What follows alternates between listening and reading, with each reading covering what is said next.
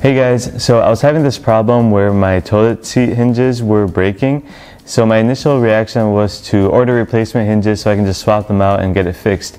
However, I wasn't sure if they would fit exactly and when I did find the exact hinges that my toilet seats did have, I wasn't really sure that the problem would be fixed because what's stopping them from breaking again in the future.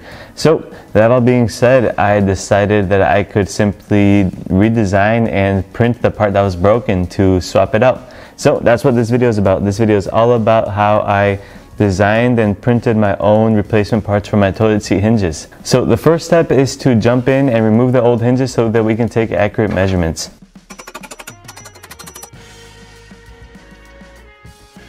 At this point, I realized that I didn't need to recreate the entire hinge, just the little bit that broke. I used a pair of digital calipers to help me measure, but a ruler could have done just as well.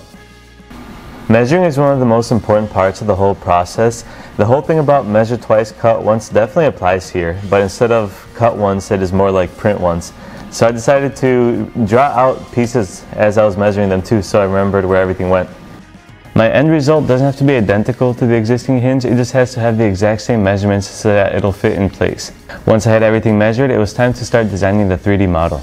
So I opened up Autodesk Fusion 360 and started creating a shape according to my measurements. Once the model was created, I exported it as an STL file and loaded it into Ultimaker Cura. This way I could slice my design and get it ready to move to the 3D printer. So I duplicated the piece so that I would have two hinges and I saved it on my SD card and moved it to my 3D printer. I printed this using white PLA. I figured it would fit in the nicest, but I did play with the idea of maybe having colorful hinges, but ultimately decided against it because uh, I felt like that would be a little too flashy.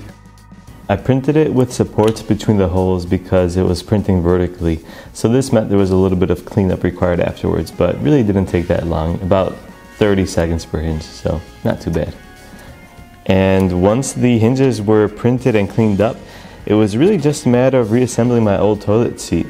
So I started with reattaching the hinges to the toilet seat itself, putting the toilet seat on the toilet, and then adding the toilet lid up top. And that was about it. And just like that, my toilet seat hinges were fixed. I love the little detail of having my name custom designed in there. It's a great little Easter egg if any of my guests come over and they check out my toilet seat hinges or something that I can point out. And it feels like a very strong solution. Uh, you know, I can slam this seat and I'm pretty confident it won't break. But if it does, I can just press print and get a replacement part right there. However, I do have to tell you guys that I lied to you. I did not get this on my first try. It actually took me about 10 different iterations before I got it right you know, the first time I tried printing it, I figured that flipping it vertically would be a lot stronger than horizontally, just the way that the layers work in printing. And then when I did flip it, I forgot to add suspension between the two um, hinge pieces.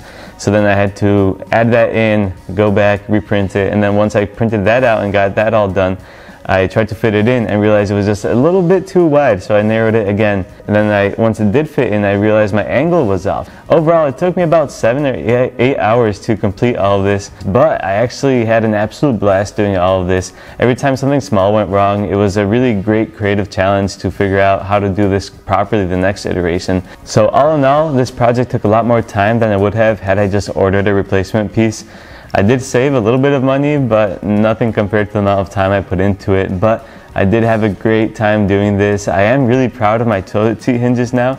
And I don't know anyone else who is proud of their toilet seat hinges. I have no regrets about this whole process, no matter how many times I failed, no matter how many design challenges I faced. I had a really fun time and I wanted to share the journey with you guys. And hopefully we can tackle some greater design challenges in the future together. Thanks for watching guys.